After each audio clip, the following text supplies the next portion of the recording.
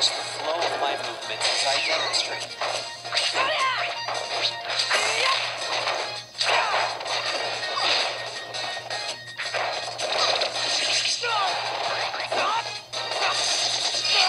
Stand straight and try to keep your hips aligned with your back.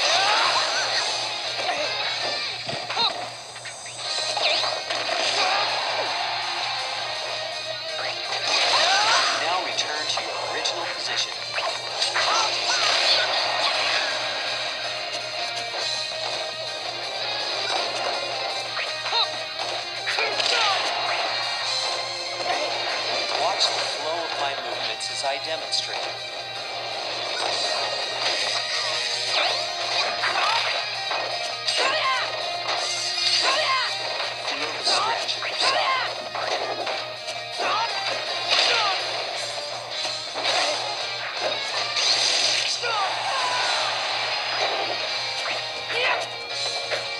Now return to your original position.